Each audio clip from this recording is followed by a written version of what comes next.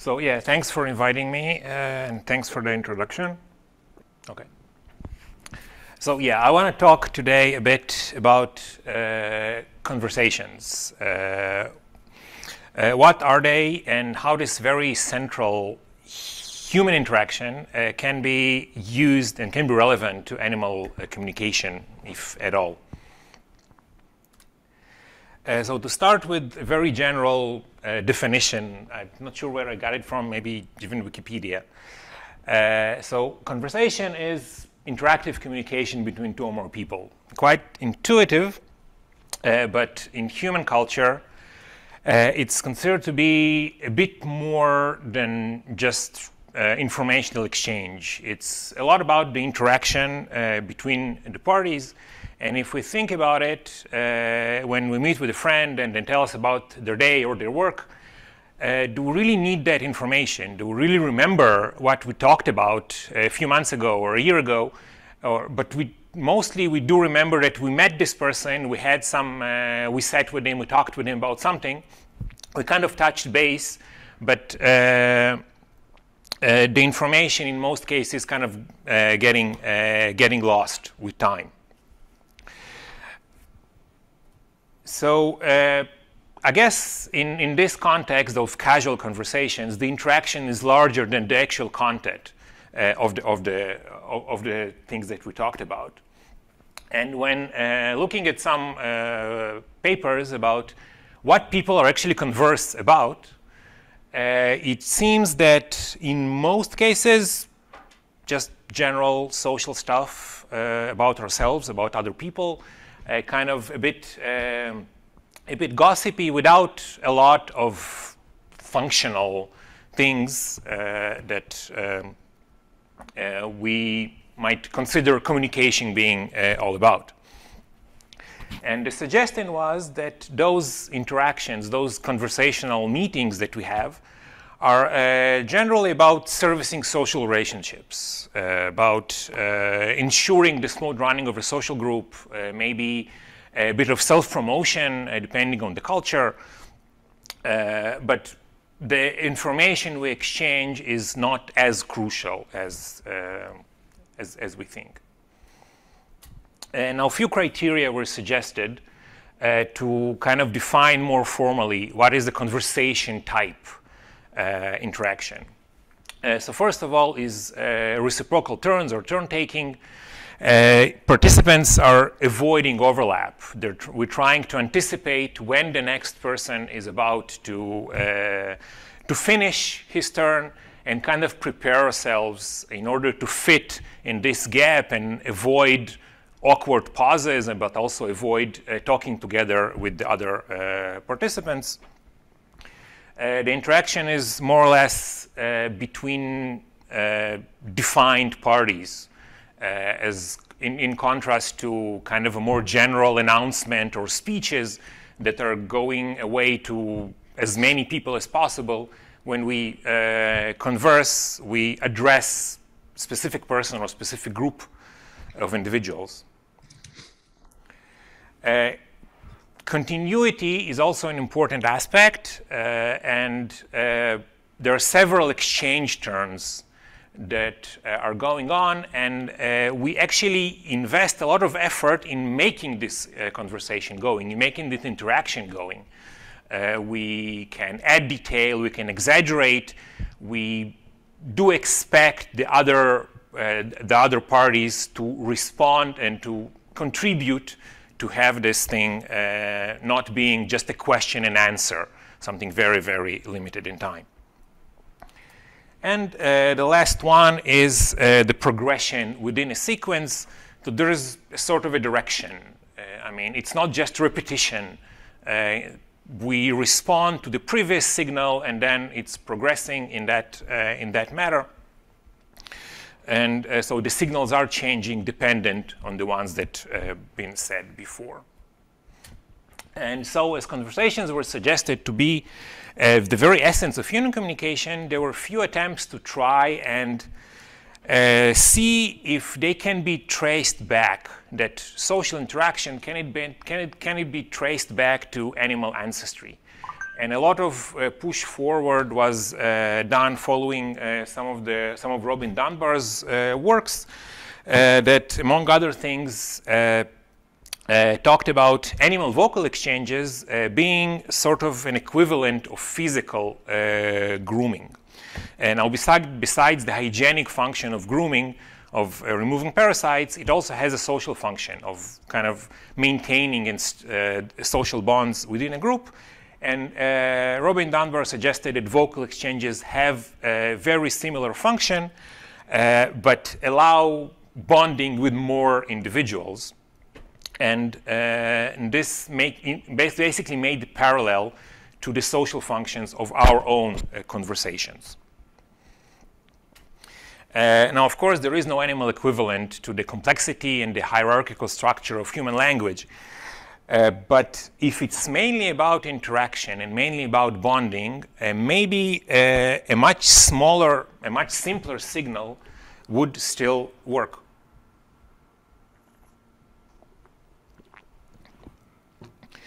Now, the social function of vocal exchanges in animals have been shown in a few species. They're, these are just uh, three uh, kind of random examples.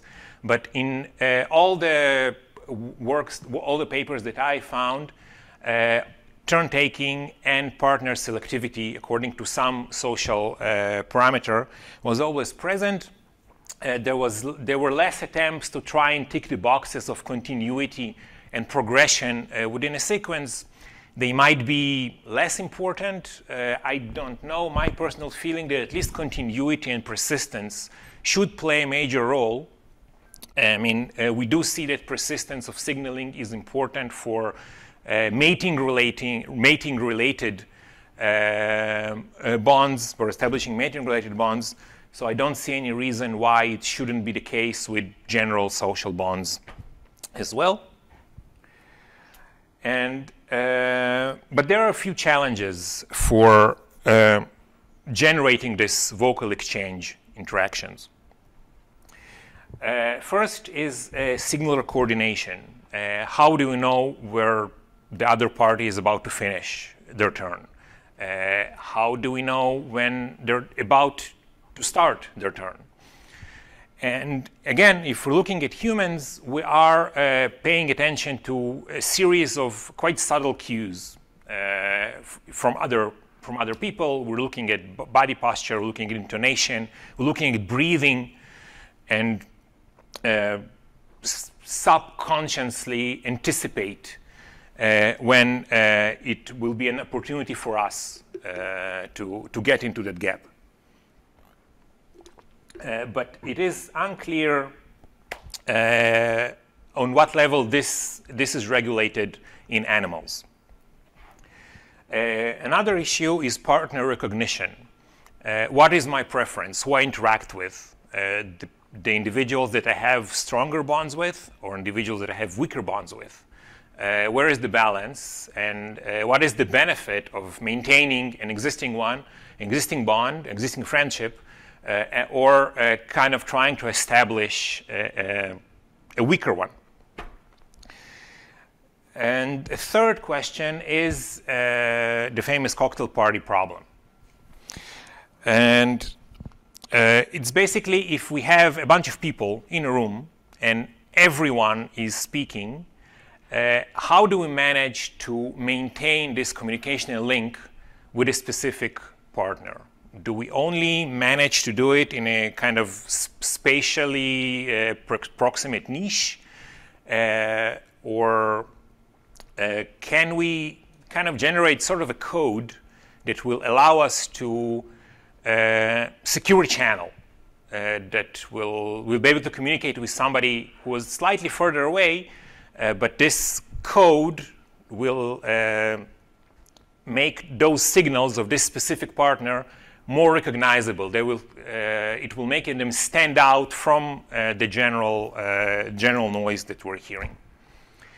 Uh, so I'm looking at some of those questions in animals, not in humans. And as a starting point, we need to find those vocal exchanges those events when we have a calling group and from the first uh, look which looks like most of the individuals are making calls, uh, but we can distinguish between two cases. A case where uh, they're all just calling as a result uh, of some external event, and their calls are not directly dependent on one another, and a situation when this group vocal signature is actually consisting of local interactions of individuals uh, communicating between themselves. Uh, but from kind of a general overview, it's uh, hard to, uh, to distinguish between those, uh, uh, those two states. So this work is done together with Mara, Baptiste, Marta Manser from Zurich, and Ari and with a lot of help of uh, people that assisted in the field, uh, Beck, Pauline, Chini, and uh, Walter from the Kalahari Meerkat project. Uh, now, the main study system that we work uh, with uh, are meerkats, and meerkats are a great model for communication and sociality studies. Uh, they're very social. They have a very large and nicely defined vocal repertoire. Uh, these are just a few examples of the calls that they make. Basically, most of their daily activity is accompanied by some sort of vocal signal. And uh, the groups stay together most of the time. There are some group splits. There are some individuals going roving here and there. But really, most of the, most of the day, the group is uh, staying in a very defined areas. Uh, now this is a wild population from the Kalahari Meerkat project in, uh, in South Africa. Uh, this is a population that's been monitored for the last 20 years.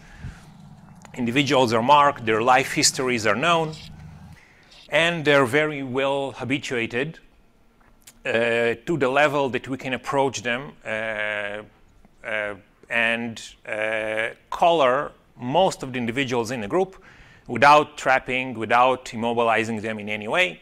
If we uh, being, if we are slow and careful enough, we can just approach and kind of gently snap the collar on the group, on, on, the, on, the, on most of the individuals. So this collar is uh, including a GPS uh, collecting data at one hertz and an audio an audio recorder uh, that records continuously. The data collection window is defined, so it will uh, record for three hours during the foraging period of the group, and those three hours can be in the morning or in the afternoon, but three hours uh, each day over a course of a week or so. And so at the end, uh, the output of the data is that we have the movement, movement trajectories of all individuals and the calls of individually identified calls from each one of the meerkats. And it's all aligned on the same timeline. On the same timeline, we know which individual produced the call at what point in time and in what point in space. Uh, now, from all the different meerkat call types, I want to focus on two uh, for, for today uh, close calls and short note calls. Uh, these are the most frequent call types in our data set. They're about 80% of the data. Uh, now, clo close calls are individually distinctive. They're mostly produced while the group is foraging. And uh, in a foraging meerkat group, individuals are to kind of follow the hotspot of the close calls, uh, the denser area when from, uh, from where the calls are uh, made. And the function is uh, thought to be kind of to avoid separation, to keep the group uh, together. interestingly, when there are pups in the group, uh, the close call rates are going down. Uh, now, meerkat pups are incredibly noisy.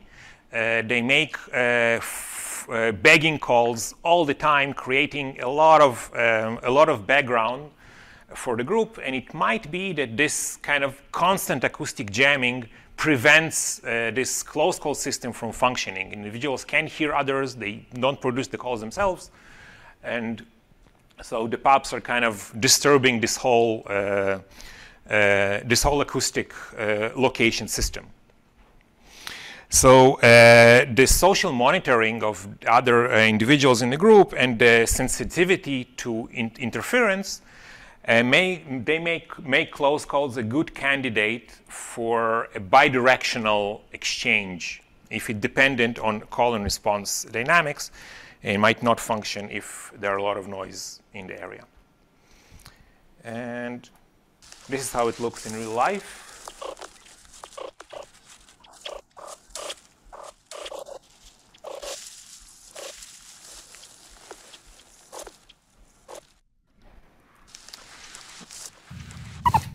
Uh, the next call type is uh, the short note. Uh, short notes are also individually distinctive, uh, but they have a much more, uh, much higher variety in the context of their production. Uh, we can hear short notes when there is an individual going on sentinel duty, when there is a submission interaction between meerkats.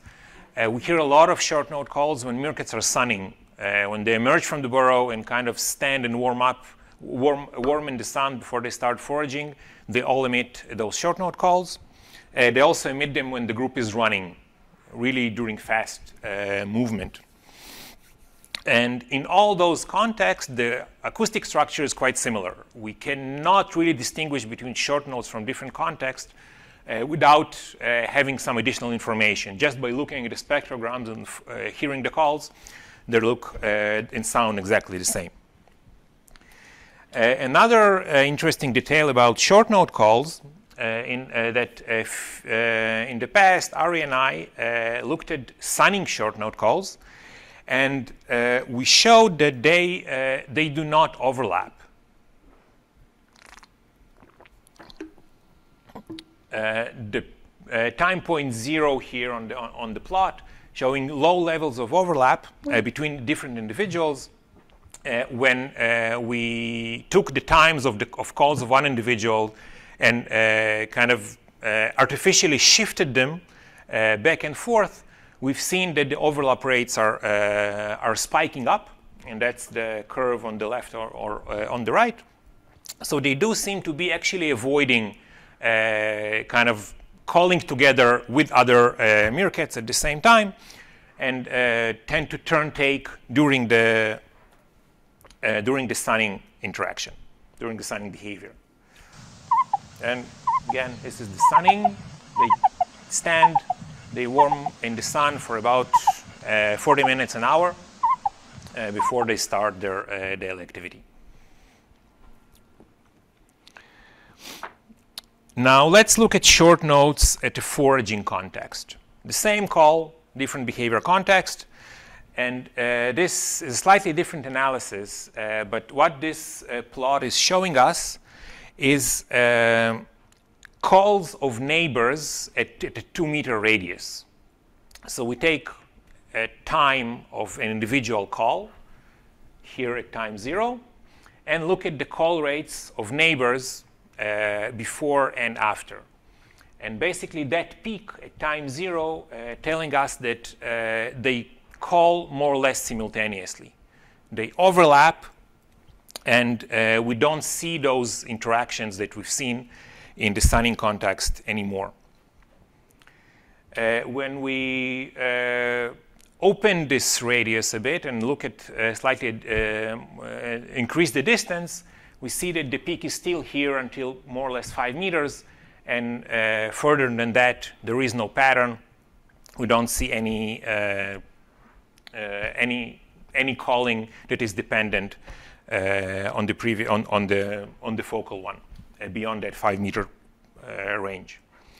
And so uh, there is some local behavior context, but we don't see any individual interactions going on there. And now exactly the same analysis, but now with the close calls. And here the situation is completely different. We see the two peaks on uh, more or less 0.3 seconds from the focal call. So after the focal is calling, there is a high probability that a neighbor will call in 0.3 seconds after. So we, now we do see that call and response dynamics, uh, but again, the spatial range is still about five meters, so that might be the distance that is perceived as socially relevant for a meerkat, at least in, in, these, uh, in this context. Uh, now just again to make a clear comparison, both those plots uh, together, uh, we have the short notes with the overlapping uh, calling and the close calls and, and the close calls with the call and response patterns. And the five meters is similar for both. So we're likely seeing two different signaling modes here. Uh, sort of broadcast signaling with uh, the group is calling generally uh, uh, to a contextual event and an interactive or, or um, conversational dynamics of individuals kind of communicating di directly or with their neighbors or with, with other individuals specifically. And uh, interestingly, the same call type can function in both signaling modes. So if you're looking at short note calls, the same calls acoustically, but given at, uh, at a different coordination levels in those uh, two situations. I mean, we still need to wrap the short note call analysis uh, together in uh, kind of in, in, in, a single, in a similar, uh, in a similar plots. Uh, but those two pieces of the puzzle seem to kind of fit together and uh, uh, showing that uh, short note calls are part of conversational type interactions. And functionally, in the signing contest, we do think that they are uh, fulfilling that criteria of being, uh, of being kind of a bonding interaction. Uh, to test this, we performed a series of playback experiments when we played uh, calls of uh, group members to individual uh, meerkats in the field, and we're now analyzing their responses. Now, this is something preliminary. There's more data that needs to go into this plot. But, but what basically we're seeing that call rate on the y-axis is actually is higher for individuals with weaker social ties on the x-axis. And uh, it, sounded, it was kind of counterintuitive for me because I, ex I, expected the opposite. I expected that strongly bonded individuals will have more intense uh, interactions. Uh, but just a few weeks ago, a practically identical result was showed in dolphins with uh, weakly bonded individuals showing uh, stronger uh, strong, stronger intensity of vocal exchanges. And the explanation for this might be that uh, there is a reason to invest more in the weaker ties. I mean, uh, meerkats are can hardly be called egalitarian, but uh, they have quite a steep hierarchy with dominant and pair and subordinate individuals. Uh, but generally, there are few examples that more equal distribution of social ties is uh, promoting uh, uh, longer life expectancy and better distribution of resources.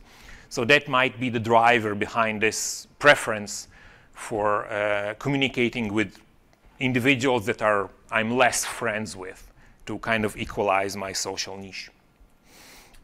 Uh, one more thing that we want to do, hopefully this summer, is to see if uh, the selection of the interaction partner can be proactive.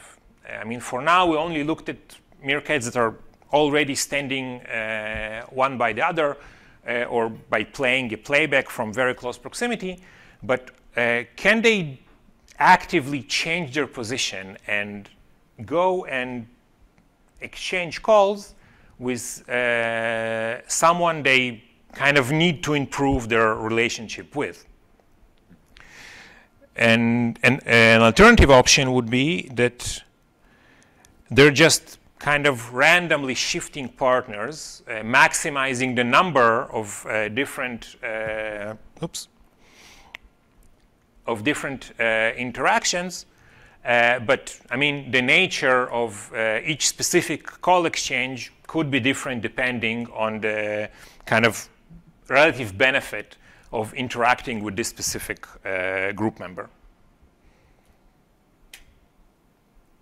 Uh, now, another topic that I want to tell, uh, talk about, and this is dealing with cues indicating the intention to produce a call. Uh, basically touching the idea of how to coordinate between individuals and avoid uh, this uh, overlapping the calls of others, uh, kind of to smooth the interaction. And now this part is done with the collaboration with Marta from Marta Manser from Zurich and Glenn uh, Tattersall. And so uh, just a bit of a background. Uh, most mammals produce calls on the exhale.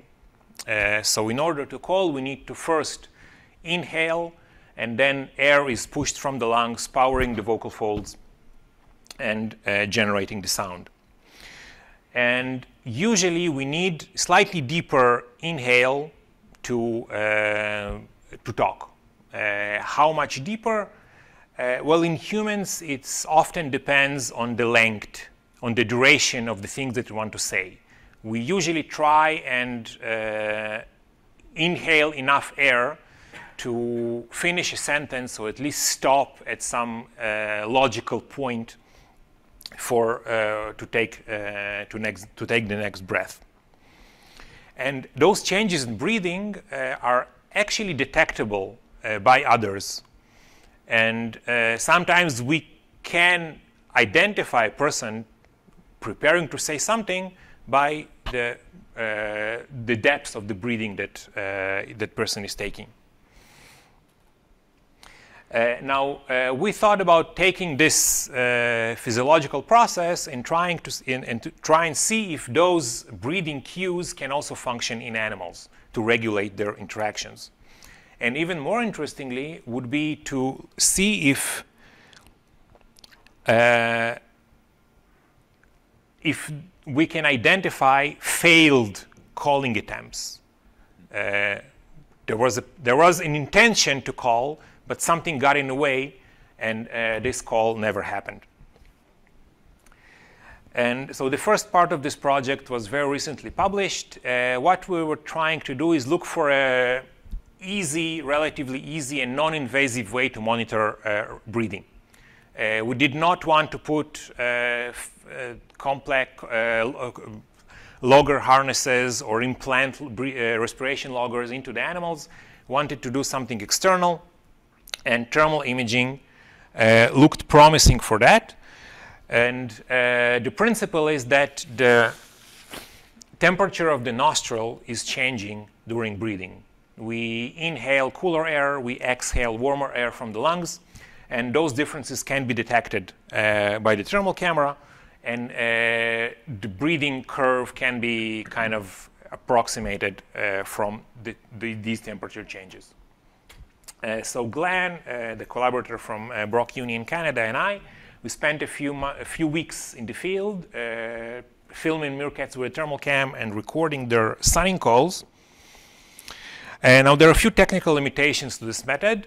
Uh, so first of all, the ambient temperature has to be relatively low. Uh, if the air temperature and the temperature of the animal are uh, more or less the same, it will be very hard to get the differences in temperature between the inhale and the exhale.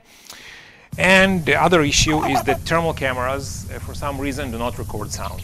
Uh, so we had to uh, record sound separately and sync the audio and the thermal feed uh, using this uh, very elaborate method of flipping a lighter and getting the click and the heat signature on the camera. Uh, but, well, it worked. We collected videos, we tracked the nostrils of the meerkat using a loopy pose estimation tool and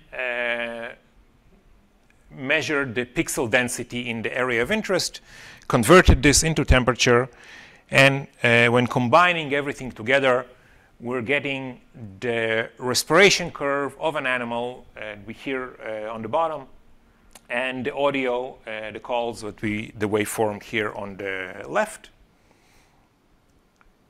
So when temperature is going down, that's an ex inhale. When temperature is going up, that's an exhale. And it's, you see the breathing is uh, more or less stable. And just before the call, there's a bigger dip and a higher, uh, higher peak. And the recovery after a call is uh, also shorter. So again, those arrows here are the points when uh, calls were, uh, were produced. You see, uh, larger inhale before producing a call, higher pressure uh, of pushing the air out uh, when calling, and this results in faster uh, and shorter recovery until the next breathing cycle. And just want to say thank you to Carla for getting the for giving me the idea of combining this in one-on-one video. so respiration irregularities are starting before uh, active uh, call time emission.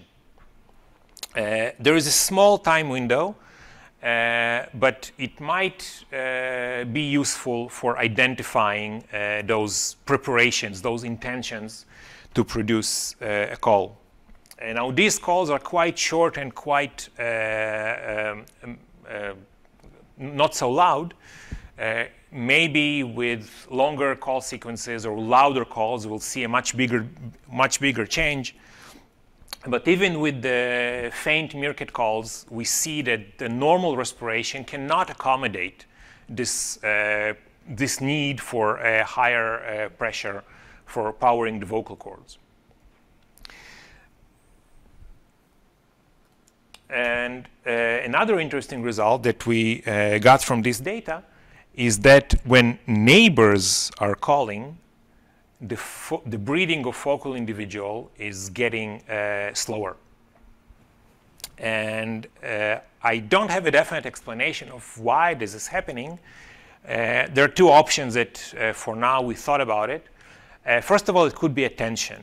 there is a possibility that the animal is kind of trying to reduce the internal noise to uh, improve the perception of the auditory signal that is coming in.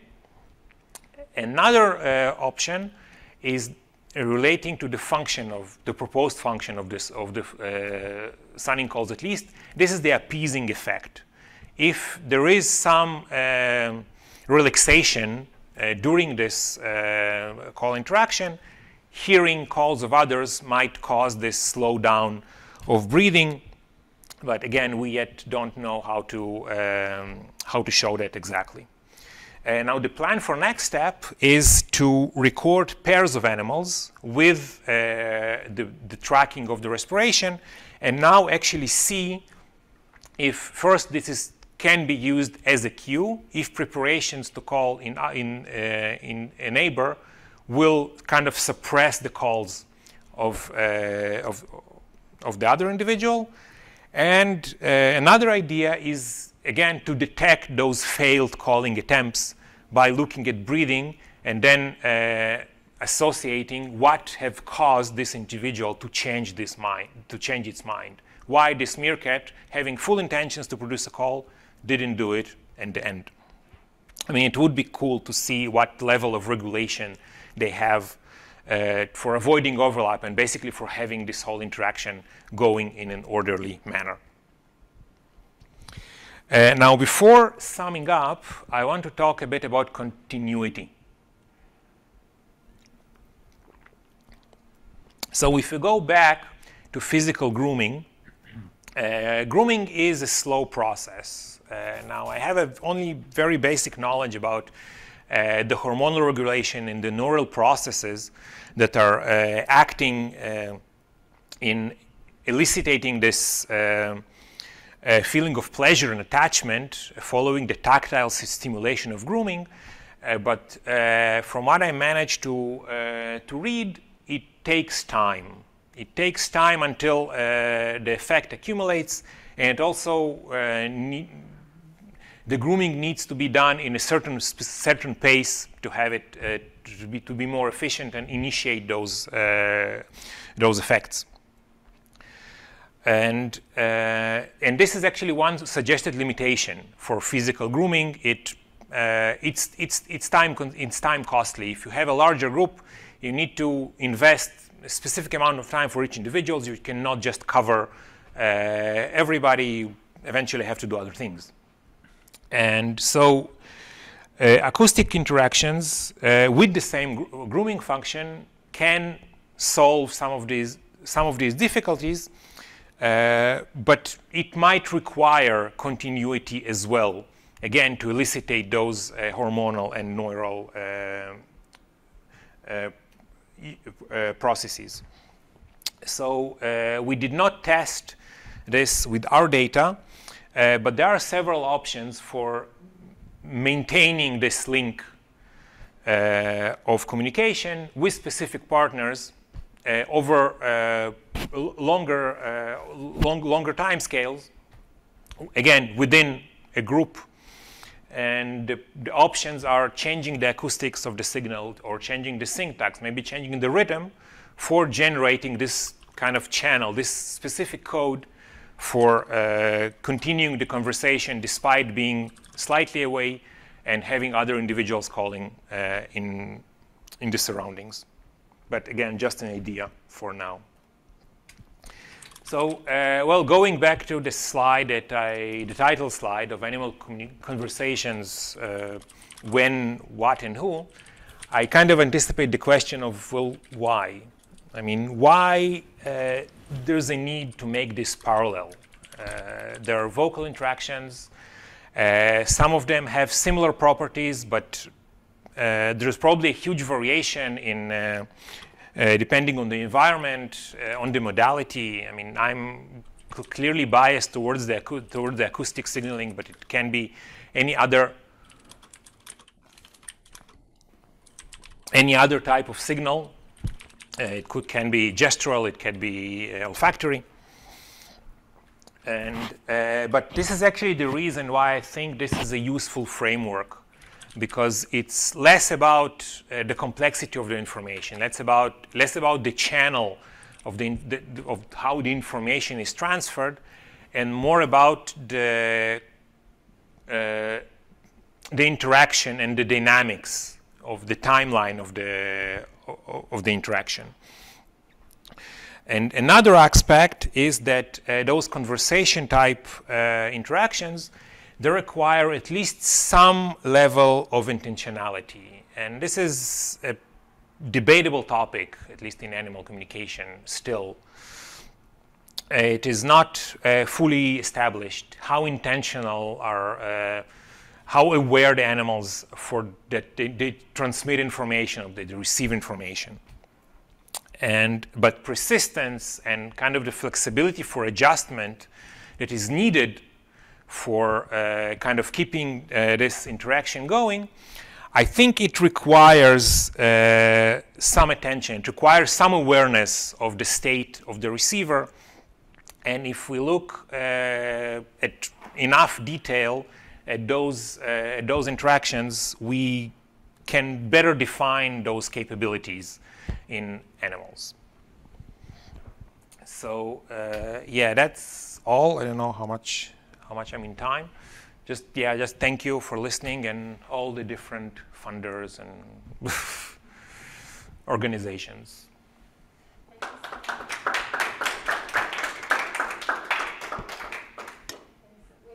Yeah, so I uh, thanks for the great talk. I was wondering about the individual identifiability of the call. You said they're individually distinct.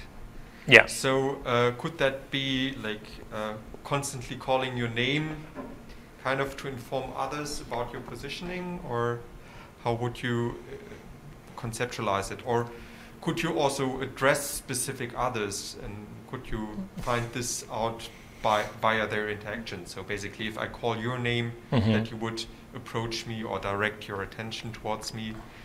Uh, uh, is there any sign of that? And, uh, So I, we don't know about that in, uh, in, in meerkat specifically. Uh, there are some evidence uh, in, uh, in bats, if I'm not mistaken, and uh, I think in dolphins, that they do have some, uh, some type of call that it is kind of identifying myself. so it is an option. I, I think that short notes would be a better candidate for that.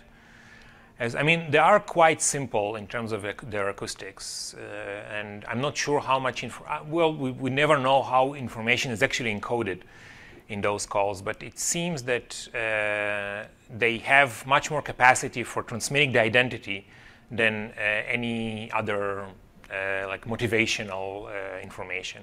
But yeah, but I mean, the, the short the short answer is I don't know.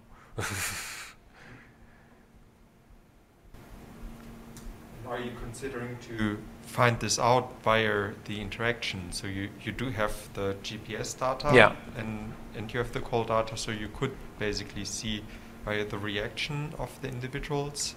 So they do respond differently to calls of of different individuals. So I think it's safe to assume to say that they recognize which, who is that individual. Uh, I'm so I, I mean it, it can be enough. You don't have to say your name if I identify your voice, right? Sure. Yeah. So that, that can function on the same level. And, uh, but it would be the, the thing that we're trying to do this summer is to see if they will actually they will actively go and approach this individual either by but that will be harder to see if they just hear it or they, do, do they see it and then they go and, and interact with it So in terms, uh, so basically you expect the timeline, I call, and then you approach me, or the other way maybe yes I- yes. E- either you call and they approach you or you don't call but I, then i approach you because i see you i guess that would be the, the test then what, what goes first Thanks. So I was wondering if already with your data, if you if your data that Yeah. you already have available, if it's uh, if you already can see some temporal pattern between uh, who is uh, like is there always the same like if you have a pair A and B, yeah if it's always A starting and B responding, or if it's always uh, if you could have, have things like that. Yes. Uh, so there, there are definitely individual tendencies. I don't have these plots here, but when we're kind of looking at those pairs, we see that some individuals are kind of m- more of a follower. They, they mostly respond to others, and some are more balanced, and some are just initiate the interactions. Uh, we couldn't um, figure out if there's something with the social status or the sex. It, it, I mean, it might be something very personal. It is not related to one of the kind of characteristic that we try to look at. But yes, it's a thing. I don't have a good explanation of why exactly. Okay, but you already see a pattern. Sorry. You already see a pattern. Yeah, we see we see a pattern. We can't explain it. Um, yeah, thanks for the presentation. My question is quite similar, but I was wondering if um, all meerkats use the same calls or if there are some specific calls for younger meerkats or for older or do so um, do they have to learn these calls Mhm. first and see them when to use them afterwards? Yeah, so I personally didn't look at uh, call ontogeny specifically. Uh, I know there's some work being done uh, on that in, in Zurich. Uh, so I can I, I can say about the close calls that they definitely change with age, and uh, they kind of become more defined. And when the, when they're younger, they uh, much more variable and they vary in length, slightly vary in frequency, getting uh, a bit weird. Uh, but when they're uh, getting to like year and a half, two years, they're uh, already much more stereotyped. About short notes, I, I, I, I don't know because we only recorded adults. Uh, but I mean, I hope that uh, the work that they're doing in Zurich will kind of give us a better answer for that.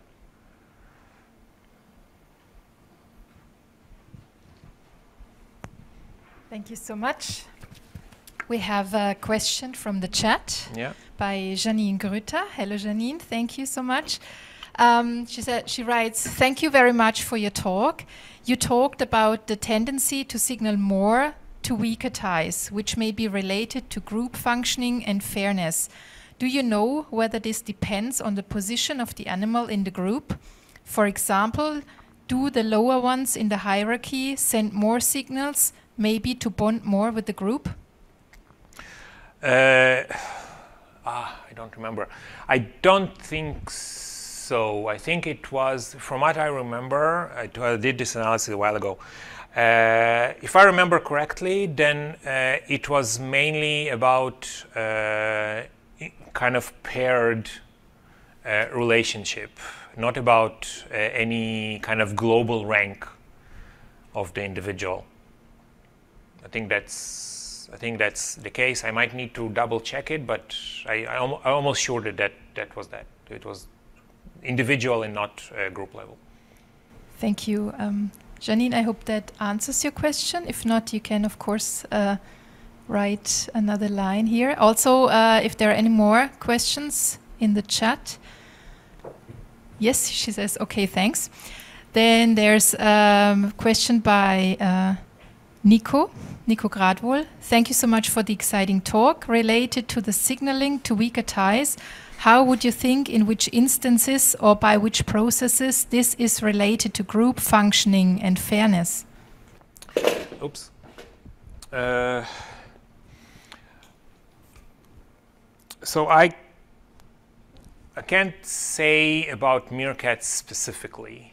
Uh, I I did uh, encountered uh, similar results in the previous system that I worked with, with, with rock hyraxes. And there, groups with more equal tie distribution, individuals had longer life expectancy. And some of the suggestions that were made that uh, there's less conflict, there's better distribution of resources, food resources, and uh, I guess just less stress that might be the reason and uh, I mean, I, I, think it's again, it's it's reasonable to say that it might, might be similar in meerkats, but we haven't tested this uh, directly. Thank you. Great, thanks. Are there any other questions? Christoph? Thanks. So I may be totally wrong because uh, I'm not an expert, but um, so it's for more for the why question. Uh, yeah, I think uh, in some in the evolution of human language, there are some theories that uh, postulate that uh, the origin is gestural rather than vocal at the origin, mm-hmm. and uh, so in this case maybe it will be also uh, so more vocal, and maybe because uh, they are like meerkats when they forage, they are engaged with all their limbs on the ground. So maybe that's why it's it's in this case it's more uh, the vocal. It's just uh, an idea. Yeah, yeah. I mean, I think it's uh, that's the explanation what we're uh, also thinking about. They're just don't need to lift their head, and it's it's a much convenient channel for doing that. Yeah. So there's uh, another comment from mm-hmm. Eli Strauss. Yeah. Very nice talk. I'm curious about the relationship between complexity, brackets operationalized as var variability in call structure within types, and overlap turn taking.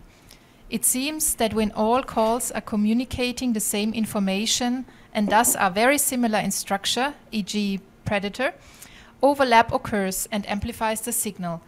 But in these sunning calls, where calls are also very similar, there is very little overlap. Do you think it's possible to make some broad predictions about the relationship between call overlap and call complexity? I, uh, well, I think that uh, at least if we're looking at uh, sunning calls and the same short note calls that are uh, produced during foraging, they're the same call. And in one case, they're overlapping, in other case, they don't. So I, I think that's an example that it's not necessarily uh, this. I think it's, I'm not sure how to answer that kind of on, on the fly. Uh, I think the, kind of call complexity question is also a bit um, a bit tricky definition because if we're looking at uh, at a call as a unit or at a call uh, as a sequence that transmits the information, I think it's really hard to, to distinguish which one is more complex and which one is uh, less complex. Uh, but uh, yeah, I think maybe Ilan and I can have a talk in the office later and uh, we can Yeah, he says. explain a bit better. He says thanks. That's a great point.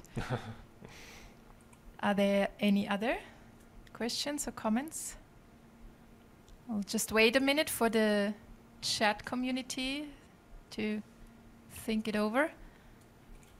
But doesn't seem there are any more questions. So thank you, Vlad, again, very, very much. This was very exciting, and uh, yeah, you deserve your Thank you. praise and uh, the claps.